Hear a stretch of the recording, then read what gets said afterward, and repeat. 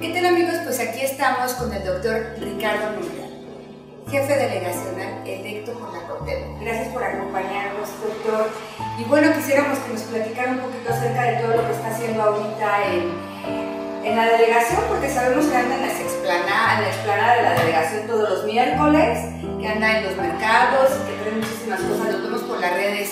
Así que me gustaría que nos platicara. Bueno, primero, muchas gracias entrevista, segundo, saludo a todos los que nos ven y que nos escuchan. En efecto, hemos iniciado en la delegación un proceso de entrega y recepción, ha sido difícil. Yo entro hasta el 1 de octubre, fecha en la que señala la ley la constitución para la de protesta, pero ya empezamos a trabajar. En efecto, cada miércoles doy audiencia en la explanada abierta desde las 7 de la mañana a la 1 o 2 de la tarde y empecé ya a revisar el tema de las luminarias, de la basura, del problema de la pavimentación, el problema de calles, el problema de poda de árboles y el problema de inseguridad que es particularmente delicado. También la revisión de tianguis, de mercados, donde ha generado una profunda anarquía la corrupción donde se ha generado un caos en los últimos años en complicidad con los propios servidores públicos, con los propios inspectores con la complacencia de la policía, con la complacencia de los líderes de esos tianguis. Y mercados, algunos, no de todos, pero tenemos lamentablemente un proceso de eh, anarquía y de caos en la delegación por estas circunstancias. Ya estamos trabajando estamos uh, intentando hacer las cosas bien que el 1 de octubre empecemos ya más fuerza a trabajar. Doctor, ¿cuáles son las cosas de las que más se queja la gente? Porque nosotros vemos eh, en Twitter, vemos en Facebook que tiene colas inmensas de personas que están directamente en la explanada de la delegación. Bueno, yo diría que atiendo un promedio de 100 audiencias cada miércoles. Eh, las 100 audiencias tengo problemas de denuncias de corrupción de funcionarios públicos, de servidores públicos, de líderes. Eh, tengo denuncias de servicios públicos, es decir, deficiencia y deterioro de los servicios como son basura, inseguridad, por supuesto, mercados, ambulantaje. Y tenemos una serie de dificultades y de problemas severos.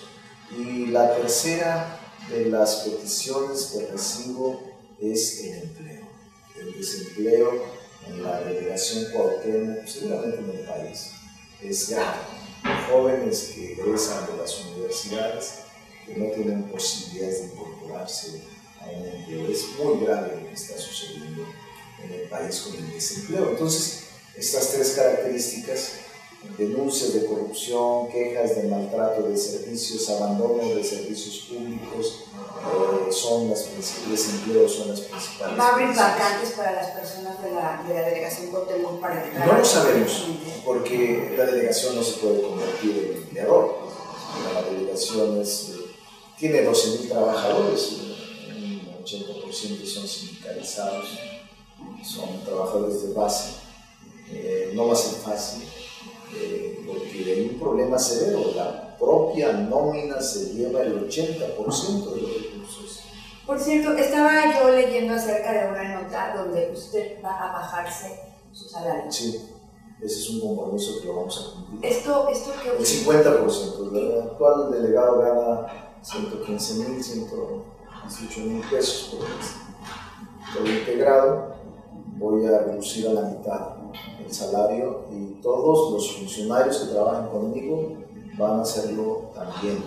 Y vamos a destinar el recurso que ahorremos a política social, a la gente que lo necesita, madres solteras, adultos mayores, becas para estudiar. Van a existir más, más planes para poder ayudar a estas personas, Sí. más programas, programas diferentes. Programas sociales Independientes de para los apoyar la programas. sí, independientes para reforzar la política social de la gente. Doctor, ¿qué ha pasado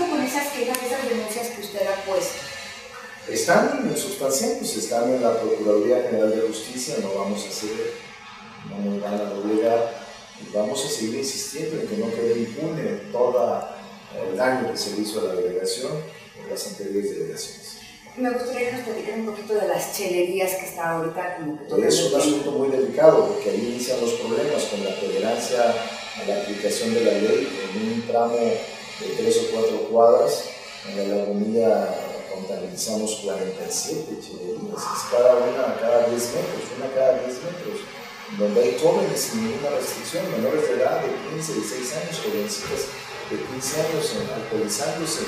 Yo no me no soy timorato, no soy moralino, no me escandalizo que la gente pueda tomar, pero en lugares, en el tianguis, donde van familias, me parece inadecuado y me parece que simplemente se está violando la ley, ni la constitución, ni la ley, Muchísimas gracias, doctor. No sé si quiere agregar algo más a la gente que nos está viendo.